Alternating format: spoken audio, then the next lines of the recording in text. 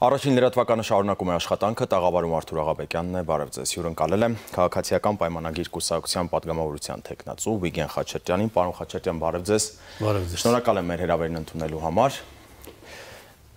Արտահայտ խորհրդարանական ընտրություններն այլևս անցյալում են, Ինչ ցույց տվեցին ընտրությունները, պարոն Խաչատյան։ Այնինչ տեղի էր ունենում 2003-ին, 2008-ին, 2013-ին, երբ ամբողջովին գլխի վայր էին շուր տալիս ընտրությունների իրական արդյունքները, այս անգամ տեղի չունեցավ։ Ինչ տեղի ունեցավ նոր խորհրդարան անցան երկու հակադիր ուժեր, բևեռներ, քաղաքացիական պայմանագիրը կլինի իշխանություն, մյուս երկուսը կլինեն ընդդիմություն։ Սա նշանակում է, որ քաղաքական դաշտը ծայրահեղականացվում է եւ չեն լինելու բուֆերային հակազդող, հակակշռող ուժեր, որոնք կարող են լուրջ ազդեցություն ունենալ քաղաքական գործընթացների վրա։ Այս իրավիճակն արդյոք անհանգստացնող չէ համեցեք։ Շնորհակալություն հրավերի եւ շատ հետաքրքիր հարցերի համար, որովհետեւ դուք մի քանի հարց տվեցիք։ Առաջինը երևի մենք պիտի փաստենք եւ դա շատ կարեւոր է, որ Հայաստանում հասարակությունը զարգացման փուլ է ապրում եւ այս ընտրությունները ցույց տվեցին, որ մեր քաղաքացիների միջնշող մեծամասնություն իրոք հանդես է գալիս որպես իշխանության աղբյուր ու պետության տեր։ Սա շատ էական է եւ մենք պիտի կարծում եմ դա կարեւորենք։ Իհարկե մենք այդ առումով զարգացման գագաթնակետին չենք հասել, բայց ընթացքը ակնհայտ է, որ դա խոսում է մեր հասարակության հասունացման մասին, որպես առողջ քաղաքացիական հասարակություն։ Սա շատ էական է։ Երկրորդը. Ակնհայտ է, որ իշխանության որակն է փոխվել, ինչպես դուք ակնարկեցիք, նախկիններում իշխանությունների ընտրությունների հետ կապված հիմնական մեղադրանքները իշխանություններին կայանում էին նրանում, որ դպրոցները տնօրեններով, ուսմասվարներով, ուսուցչական կազմով դառնում են ընտրակեղծարարության, այսպես հիմնական աղբյուր, որ կատարվում էին լցոնումներ, որ ակտիվանում էր թաղի խուժանը, որ կազմակերպվում էին համատարած ընտրակաշառքների բաշխումներ, այս այլանդակությունների շարքը կարելի է երկար թվարկել։ Եվ այս անգամ եւս դրանք տեղի են ունեցել։ Ես բազմաթիվ ահազանգերը նաև դա են իշխանության մասին։ Առայժմ ես մենք ակնհայտ տեսանք, որ գործող իշխանությունը իրեն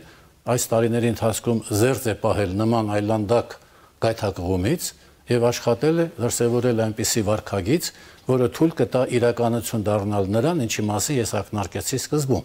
Այսինքն մենք պիտի ամեն ինչ անենք, որ Հայաստանի քաղաքացին վստահ լինի, որ իր, իր մեկ ձայնը վճռորոշ է եւ որևէ մեկը չի կարող այդ մեկ ձայնի ճակատագիրը իրենից զատ որոշել կամ ազդել իր վրա։ Մենք նկատեցինք նաև հակառակը, որ մրցակիցներից ոմանք, որպես կանոն նախկին իշխանությունների ներկայացուցիչները, չեն կարող փոխվել եւ շարունակում են փորձեր անել, ուրեմն ընտրակաշարքը բաժանել,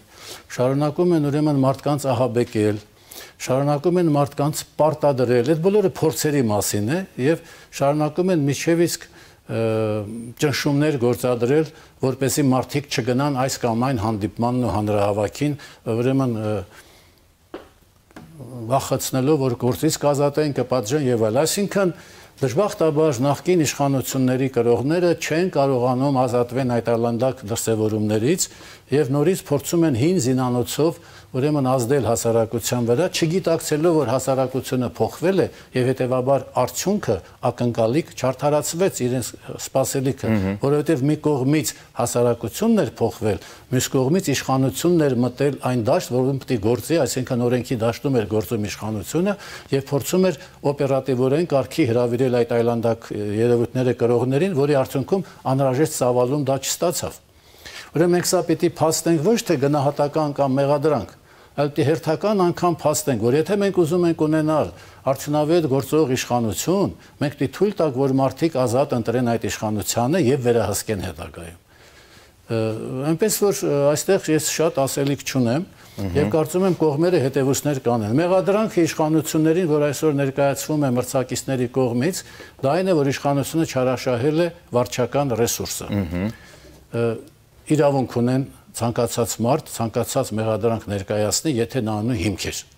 Եվ եթե կան հիմքեր, պիտի ուրեմն հետևուսներ անեն։ Բայց առայժմ այդ մեղադրանքները կրում են այսպես ենթադրաբար եւ ասվում է, որ մենք փաստերը կճշտենք, կներկայացնենք, խավլիցի թող ճշտեն, ներկայացնեն, բայց մի բան մենք պիտի հիշենք, որ եթե դա տեղի ունենար, ժամանակին պիտի ֆիքսվեր եւ ասվեր դրա մասին։ Եթե դա համատարած էր, դա չէր կարա չերևա, էլ են որ ասում են մախատը պարկի մեջ չես թաքցնի, այդ այն դեպքն է, որ ակնհայտ անել այս նման ազատ ընտրություններում իրականում ընտրությունները շատ ազատ էին, քաղաքական պայքարը անկաշկանդ էր եւ դժվար թե այդ փաստերը ունեցողները սпасեին ընտրությունները ավարտին նոր ներկայացնեին։ Բայց ես ուզում եմ այլ փաստ բերեմ։ Օրինակ, եթե Մեղրիում, Ղափանում, Քաջարանում, Գորիսում համայնքապետերը դուրս են գալի հանրապետական կուսակցությունից չբացատրելով ինչի են դուրս գալի։ Նախկին մարսպետը, որը եւս հանրապետական էր, ստեղծում են կուսակցությունը, որ իրենց իրավունքն է։ Մտնում են ընտրապայքարի մեջ եւ փորձում են դաշնակցության հետ աջակցել Ռոբերտ Քոչարյանին, կարող են լավ օրինակ դրսևորել վարչական ռեսուրսը չարաշահելու հրաժարական տային այդ համայնքապետերը դուրս գային իրենց պաշտոններից եւ ասեն այ այսպես են անում որ չեն ազում որտեղ դրանք դարան շահագրգիռ կողմ եւ եթե այսօր գորիսում ղափանում մեղրիում քաջարանում այդ դաշինքը պարտվել է իշխանություններին հասկացած համայնքների մեծամասնությունը դեմ է արտահայտվել իրենց համայնքապետերի քաղաքական դիրքորոշումներին, գոնե հիմա պիտի պարկեշտությունն ու հրաժարական տան որտեղ համայնքները ցույց տվեցին, որ իրենց մեծամասնությունը չի կիսում այդ դիրքորոշումը։ Դե նրանցից մեկը ասել էր երեք, որ փաստորեն ինքը ժողովրդին չի ճանաչում։ Նոր հասկացավ թե ինչ ժողովուրդ։ Խնդիրը ես իրենց վարկագծից եմ խոսում։ Ես չեմ ասում թող հրաժարական տան։ Օրինակ նա պահանջ իրավունք չունեմ, բայց ասում եմ, պարկեշտությունը ենթադրում է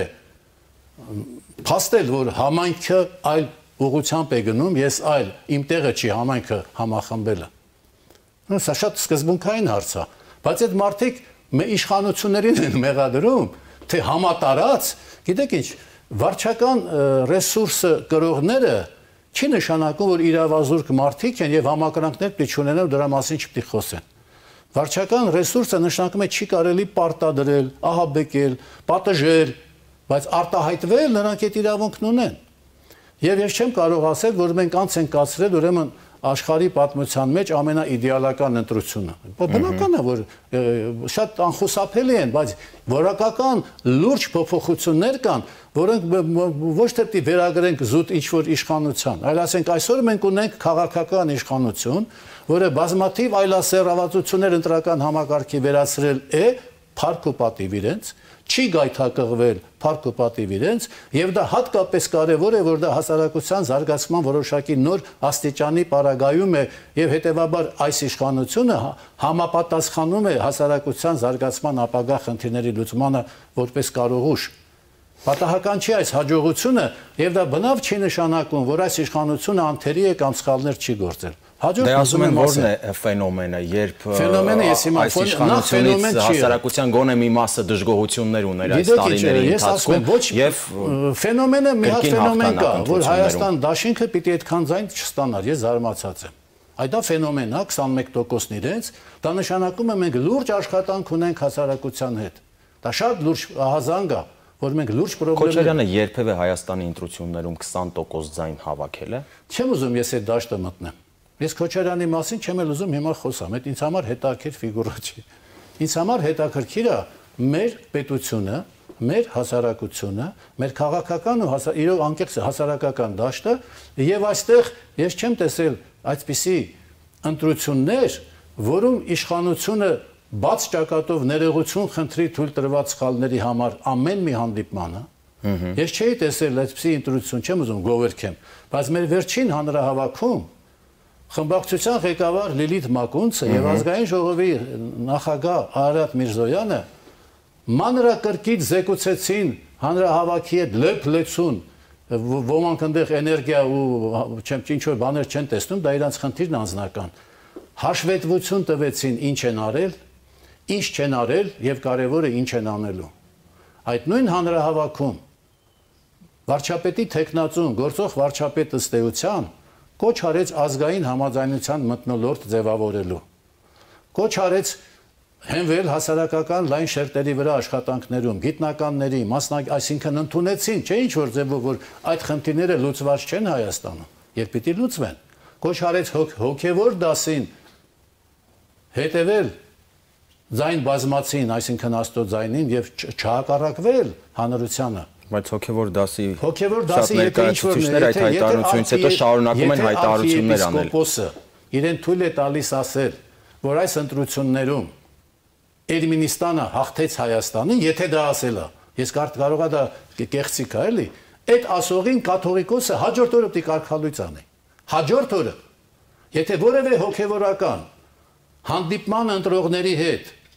հիշեցնում է, որ ժամանակին խնդրել է վարչապետին մի հատ պարկի մեջ դնել, տանել, կորցնել, դա հոգևորական չի, դա սատանա էլ չի, ավելի վատ բան է։ Հաջորդ օրը կաթողիկոսը պիտի կարգալույց անին նման հոգևորականներին, որտեղ մեզ պետք է հոգևոր դասը համախմբի ազգին, ոչ թե դառնակող։ Եթե որևէ բժիշկ, ամենալավագույն բժիշկը իրեն թույլ է տալիս ասելու, որ մայր աթորը ցանկանում է, որ վարչապետը փոխվի, հաջորդ օրը դինա չղեկավարի այդ մայր աթորի ձեռնարկությունը։ Եվ եթե որևէ ամենահեղինակավոր բժիշկ զայնագրությունը հնչում, որ ասում է, գիտես դա արդեն զարգացման աստիճանը հիմա այնպեսի ստատիստիկա կա, որ մենք կարանք parzենք, որը ոնց է քվեարկել, տես ինչ ասում։ Ահա Ես հնարավորություն ունեմ ինքն ասում, որպես պատգամության տեխնացու ստուգել ով է գնացել ընտրության ով չէ, հետեւաբար պատժել չգնացողներին։ Եվ հետեւաբար նաև շեշտում է, որ ինքը տեխնացու եւ դուք ոնց պիտի քվեարկեք նման մարդուն պետք է հիշեցնել քրեական օրենսգիր ուրիշ ոչ մի բան ոչ թե որ այդ մարդը պատժվի որ մյուսները չանեն դա եւ սկսվի աշխատել օրենքի արչեւ բոլորը հավասար են ես չտեսա որևէ լուրջ դիրք ունեցող մարդուց սկսած կաթողիկոսից, որի հիմնարկն է դա։ Հերքում, որ նման բան չի եղել, որտեվ եղել է փաստ, հա, եւ Չէ, փոխարենը ասեցին դուք իրավունք չունեք պրոֆեսորին ձերբակալեք։ Եթե եղել է, դատապարտել, խնդրել որ դատարանը մեղ վարվի, խնդրել որ ներվի, խնդրեմ, բայց ոչ թե ասել հետապնդում է։ Ինչն է հետապնդում։ Ինք այդ մարդն է հետապնդել մարդկանց։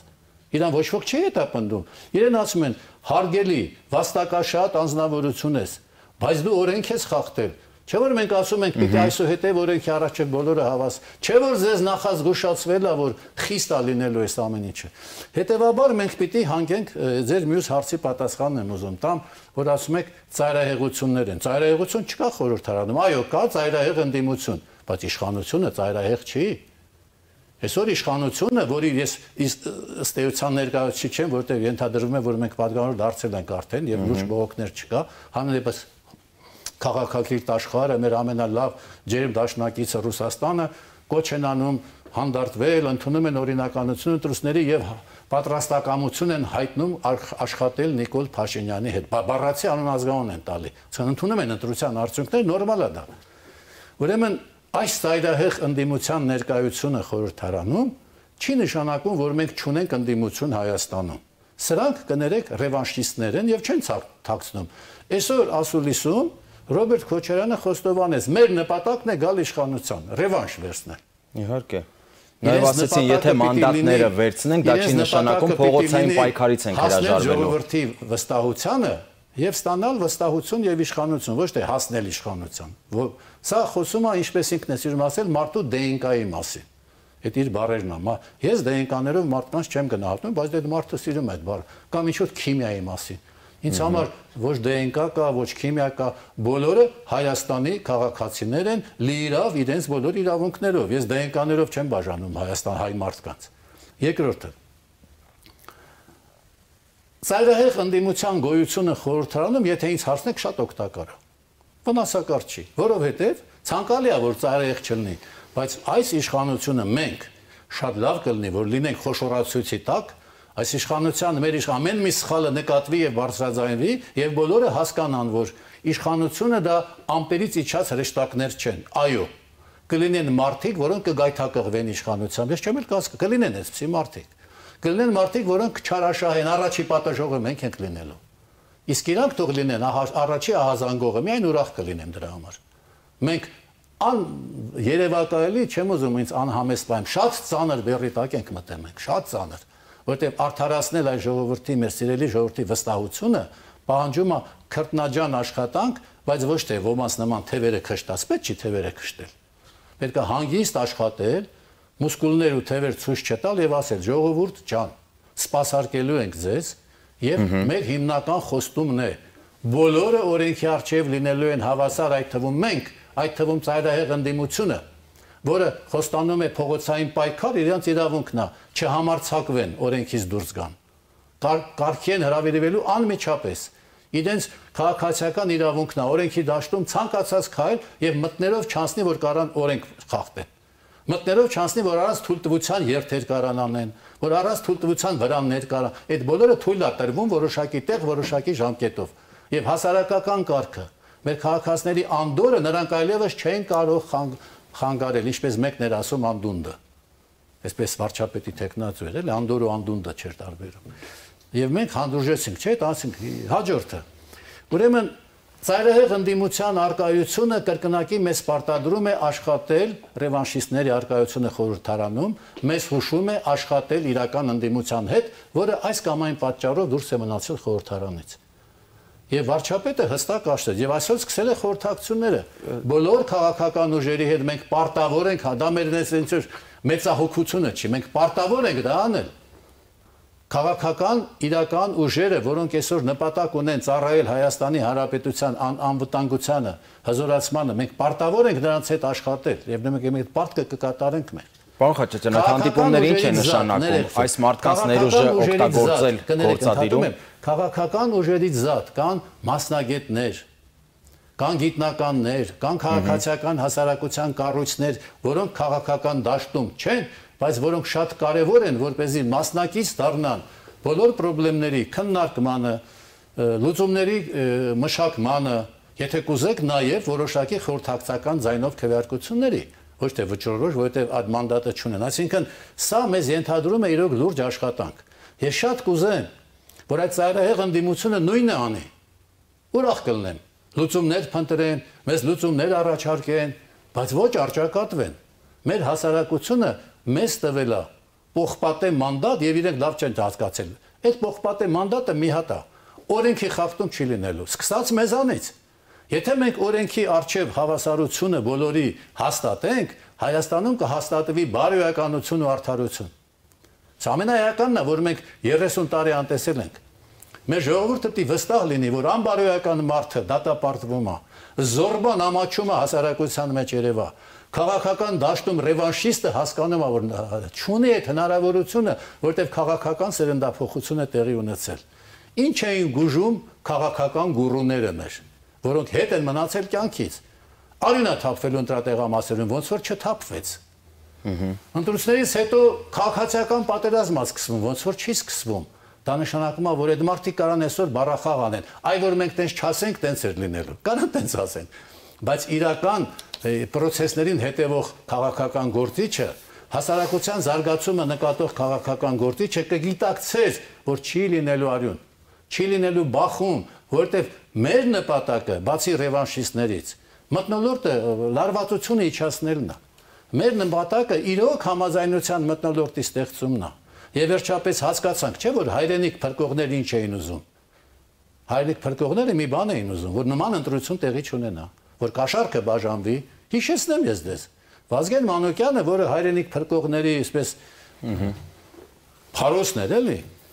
Լավ եմ, ես հետևել եմ այդ ամեն ինչին։ Ես ինչ էր ասում, ասում էր մենք կապահովենք ընտրություններ, բայց եթե մարդիկ գայթակղվեն, մենք ոչինչ չենք կարող անենք։ Այն գլխից էր ասում, կարակ կաշառք բաժանենք։ Ինչ ար, մենք չո՞ւ պետք է մարդիկ գայ։ Մենք թույլ չտվեցինք, որ մարդիկ գայթակղվեն, գիտեք ինչի որտեվ գիտեին, որ առանձնապես գայթակղվող չեն ու գիտեն, որ կարևորը գայթակղողին է պետք ձեռը բռնել ու բռնեցինք։ Այ այս առումով ես կարծում եմ, որ ձևակերպումը, որ խորհրդարանում կա ծայրահեղ իշխանություն, ճիշտ չէ, օբյեկտիվ չի։ Մենք ծայրահեղ չենք, որովհետև ծայրահեղը մեզ համար դա փակուղի է։ Ընթակառակը մենք դիլնենք խոհեմ, աշխարհը շրջահայաց եւ հարգենք ընդդիմությանը, որը կա խորհրդարանում։ Ժողովրդի որոշակի տոկոս ռեալ տոկոս այդ մարդկանց դեռ հավատում է։ Դա իրանց խնդրեմն է։ Մենք այդ մարդկանց չենք կարևոր, մենք կարևոր ենք 21% ընտրող նրանք էլ են մեր ընտրողները։ Մենք նրանց էլ պիտի արդարացնենք, նրանք էլ պիտի համոզվեն, որ պետք չի մեզանից հիասթափվել, պետք է մեզանից ավելի լավին փնտրել։ Մենք ամենալավը չենք եւ չենք հավակնում, ասել ամենալավը մենք ենք։ Բայց մենք գարանտ ենք, որ լավը կառաջանա որ այդ ռևանշի մտնոլորտը կվերանա Հայաստանում։ Կարաչանա քաղաքական մրցակցություն եւ հասարակությունը միշտ հնարավորություն կունենա ընտրելու լավին կամ ավելի լավին։ Այսա շատ է, սա է տեղի ունեցել։ Քաղաքական սերնդափոխության մասին երբ ես խոսում եմ հաճախ, նկատի ունեմ, որ մտածողությունն է փոխվել քաղաքական դաշտում մի շերտի մոտ, մյուսը մնացել է հին քարանձավներում քաղաքական։ Դուք տեսեք այդ միսիոներները ճակերտավոր, որոնք եկան Երևան, մեկը Դվին հյուրանոցի արտականով եմ ասելու։ Սկսեց քաղաքական գործունեություն անհետացած։ Շատ ակտիվ հետո ինչ եղավ։ Ազարքանցյանը, Արա Աբրամյանը, վերջի Մարտամեկի ասելով փամփուշտը, այդ ինչ որ տարօրինակ բառեր են օգտագործում։ Հեղափոխության վերջին փամփուշտն ասում մարդ, որը հավակնում է պետ ինչ փամփուշտ։ Բրծել է փամփուշտների վախտը ու դաշտային հրամանատարների։ Ուրեմն հարց չառաջացավ, այս մարդիկ ինչի հայտնվեցին Հայաստանում եւ ում սկսեցին աջակցել։ Ինչ նպատակ էր սա հետապնդում։ Թողես հարցերին պատասխանեն իրենք։ Մենք դա արհամարեցինք, չնկատելու տվեցինք, որովհետեւ գիտենք, որ այդ փուլը հասարակությունը անցել է բայց այդ հարցը պիտի հստակ աշկի առաջ ունենանք, պիտի բացառվի ներազդեցությունը Հայաստանի քաղաքացիների վրա։ Պիտի բացառվի դա։ Ինչի համար։ Որպեսզի Հայաստանի ընտրված իշխանությունը կարողանա հետապնդել հայկական շահեր։ Ես հիմա շատ վստահ ասում եմ, ցանկացած մեկը, որը Հայաստանում լարում է մտնոլորտ, ուրեմն ուրիշ պետության գործակալ է։ Չի կարա Հայաստանի քաղաքացին Հայաստանում մտնոլորտ գեներացնի, որ ուրեմն անկայունություն լինի։ Չի կարա դա անի։ Գործակալին ինչ են անում, չեն մեկուսացնում։ Իմ մոտ հարց առաջանում, ով է Արցախում մեզ լարվածությունը իմ առաջացնում։ Ով է Արցախին տրամադրում Հայաստանի դեմ։ Այդ հարցը ես ուզում եմ տամ տրամադրողներին։ Եթե որևէ մեկին սկացի, որ Արցախում ինքնաբուխ ուրեմն միջոցառումներ են եղել, դե ընդունենք այդ միամիտների համար։ Ում է ձեռնտու։ Պետք է հասկանանք, դի տեսնենք ով է Հայաստանում դա դատապարտում։ Վարչապետը դատապարտեց, ասես մի հանեք Արցախը Հայաստանի դեմ։ Դա դատապարտված է։ Մի անգամ եղավ հեղափոխություն 18 թվականին։ Մենք տեսանք ովքեր էին Արցախը տրամադրում Հայաստանի դեմ։ Անուններով գիտենք ովքեր էին դրանք եթե լավ եք հիշում։ Եվ ստիպված Փաշինյանը կազմակերպես միջոցառում Արցախում, հանդես եկավ շատ հետարքիր ճառով եւ վերջում ասեց, եթե դուք ինձ հարցնեք, ինչու ես Արցախ բառը չեմ օգտագործում, որովհետեւ Արցախը Հայաստան է եւ վերջ։ Սա դիտեցին որպես պատերազմի ուրեմն բանել սադրանք բայց դա ներքին լսարանի համար ասվեց որ մի տրամադրեք Արցախը Հայաստանի դեմ դա նույն Հայաստանն է Չանցավ դա, նախագահ ընտրվեց Արայիկ Հարությունյանը, խնդիրը լավ ու վատի մասին չի։ Սկսեցինք միասին նորմալ աշխատել երկու պետություն, հիմա նորից հեղափոխություն եղավ Հայաստանում, հիմա հեղափոխություն ասա Հայաստանում։ Հեղափոխության լուրջ փուլ ենք մենք ապրում դեպի զարգացում։ Հիմա նորից Արցախը տրամադրում են Հայաստանի դեմ։ Ես ենթադրում եմ դա ով է թե ում պատվերն է կատարում հարցի մյուս կողմն է։ Ենթադրում եմ ու նաև ովքեր են, բայց քանի որ ենթադրում եմ, չեմ խոսելու։ Ես կարծում եմ ազգային անվտանգության ծառայությունները երկու պետությունները տեսա բացահայտեն։ Էսում ջաղացին եք ջուր լցնում։ Դուք ո՞նց եք պատկերացնում հիմա Արցախում այս փուլում Արցախում նոր ընտրություններ հնարավոր են։ Արցախում պատկերացնում նախագահական ընտրություն եւ ում եք պատկերացնում։ Այսինքն մենք տեսնում ենք, որ մենք Հայաստանի ընտրություններով խնդիրը չփակվեց, որովհետեւ Հայաստանում ոմանք չգիտեմ արտաքին պատվերով թե ներքին կներեք անբարո մղումներով չկարողացան Հայաստանում ձևավորել անկառավարելության քաոսային մտնոլորտ։ Դրա մասին էին խոսում որ եթե մենք չգանք, եթե կառավարությունը հրաժարական չտա, քաոսա լինելու, իցեցե ինչ հեքիաթներ էին պատմում։ Հիմա այդ քաոսը փորձում են Արցախում անել, Հայաստանում չստացվեց։ Ենթադրելով, որ Արցախից կտեղափոխվի Հայաստան, ստիպված ենք լինելու Հայաստանից գնալ օգնել, որ արցախցիները ուրեմն ճիշտ քաղաքականություն ընտրեն, վարկագից։ Կբացահայտվի այս հակապետական, հակազգային մարդիկ ովքեր են։ Անպայման սա պիտի բացահայտել։ Ինչ վերաբերվում է ընտրությունների, ուրեմն հետ ընտրական process-ներին։ Ես կարծում եմ, որ մեր քաղաքական թիմը այդ խոստումները կկատարի, ձևավորելով համաձայնության մտնոլորտ, հենվելով հասարակական լայն շերտերի, մասնագիտական, գիտական շերտերի, մասնակից դաշնապրոցեսների որոշմանը, կապահովի Հայաստանի նախ եւ առաջ անվտանգությունը անպայման։ Մենք կապահովենք Հայաստանի բնականon զարգացումը եւ անպայման մենք երաշխիք կստեղծենք, որ Հայաստանի քաղաքացիները կունենան քաղաքական այլընտրանք իշխանություն ձևավորելու։ Մեզանից ոչ ոք չի պատրաստվում այս խորհրդարանից թոշակի գնալ։ Նկատնում եք սերունդը։ Իհարկե մի գեղեցիկոր մի նոր իշխանություն կլինի, իհարկե միմյանց, բայց մենք խոստանում ենք, որ այլևս Հայաստանում ընդդիմություն եւ իշխանություն ապրելու են միմյանց հանդուրժելով, միմյանց փոխարինելով, բայց ոչ միմյանց հոշոտելով, որը մենք տեսել ենք տարիներ այս տարիներում։ Դա որ դեպքում է լինում։ Երբ որ իշխանությունը եւ ընդդիմությունը ձգտում են իշխանության հանրության վստահությունը արդարացնելու, բայց ոչ հարստանալու եւ սեփական կյանքը դասավորելու։ Եթե նպատակը դա է, թշնամությունը առաջանում։ Եվ այն որ մենք ունենք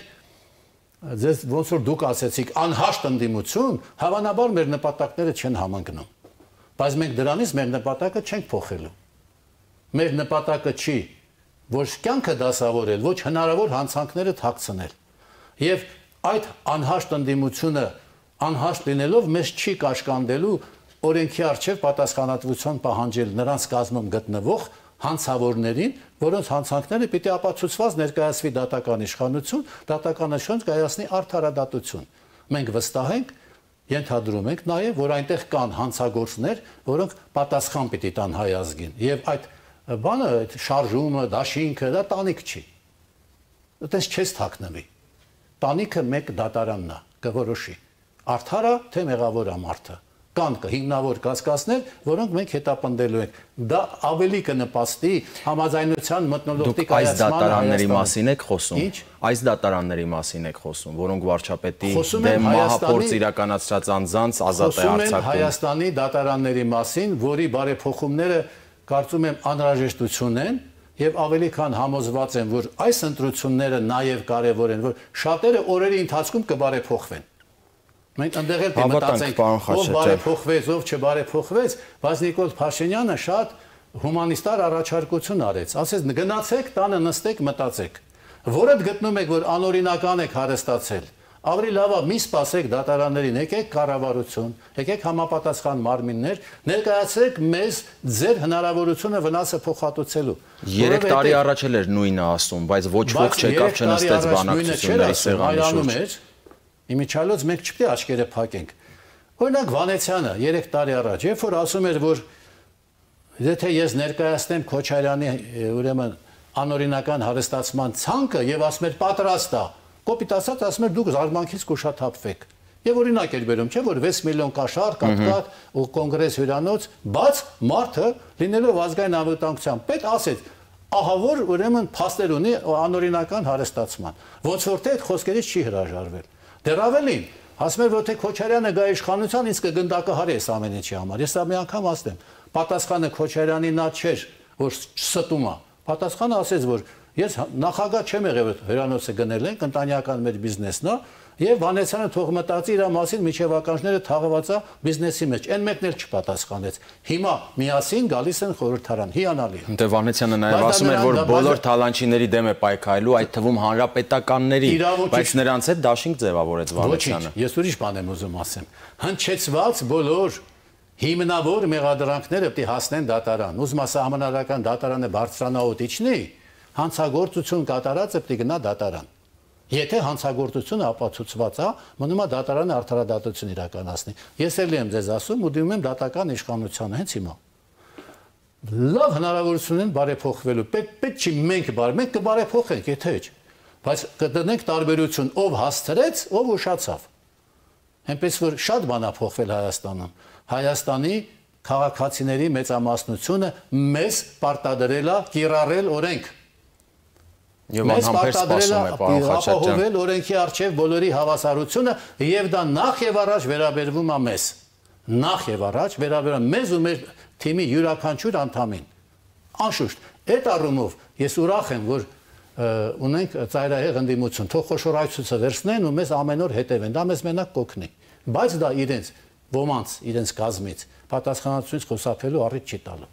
Շնորհակալ եմ զրույցի համար։ Ընտրեմ։ Հարգելի հեռուստադիտողներ, հիշեցնեմ, զրուցում էի քաղաքացիական պայմանագիր կուսակցության падգամավորության տեխնացու Վիգեն Խաչատրյանի հետ։ Առողջ ու խաղաղ ապրեք, կհանդիպենք առայժմ։